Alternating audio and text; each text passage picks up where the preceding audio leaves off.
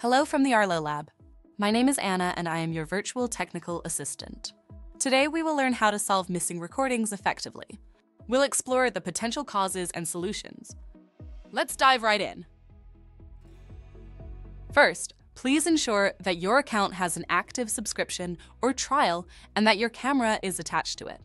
If it is a brand new camera, it may be that the trial has finished and the device is not connected to the subscription. Let's also check that we have the correct mode and rules turned on. By default, Arm Away is set for cameras to record, Arm Home is empty for easy customization, and Standby for cameras to be idle. Please check what mode is enabled for your device and if the rules for the mode are set to record.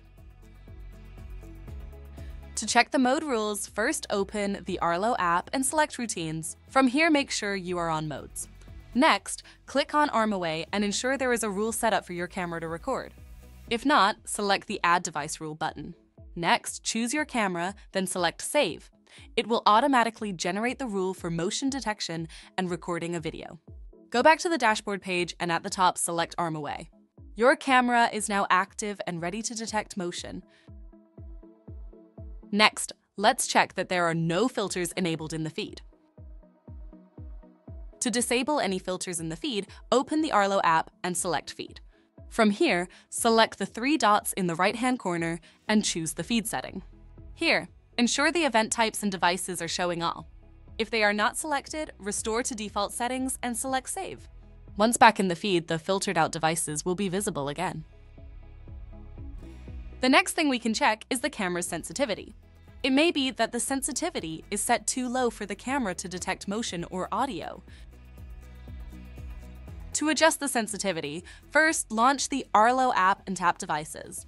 Next, select your Arlo camera and tap the settings icon in the top right corner. From here, select Default Mode Settings. Adjust the motion sensitivity of the camera a little higher. Increase the audio sensitivity if your camera supports it, and you would like audio detections as well. Let's adjust what the camera is pointing at. It may be that the motion that occurred wasn't fully in the detection zone of the camera. Please also note that the devices have a more accurate sideways motion detection rather than straight ahead. We advise positioning the camera in such a way that motion that would be of high importance would be detected coming from the side rather than straight ahead at the camera. Another thing we need to check how the activity zones are set up. Launch the Arlo Secure app. Then tap Devices at the bottom. Here tap your device and tap the gear icon in the top right. Now tap Zones and select Activity. To add an activity zone, tap the plus icon at the top. To resize the activity zone, tap and hold each anchor point and then drag the points of the zone to the desired size and shape. To reposition the activity zone, tap and hold inside the activity zone and then drag the zone to reposition it. To customize the activity zone name, tap the pencil edit icon, type the desired name, and tap rename. To create additional activity zones, tap the plus icon again. To delete a zone, select a zone name, swipe left, and tap delete. Tap save before leaving the zone screen to save each zone created. Before getting to the last step, let's first reboot the camera. First, launch the Arlo Secure app and go to Devices. From here, select your device. Next, tap the gear icon. Select the name of the camera at the top and tap Restart at the bottom.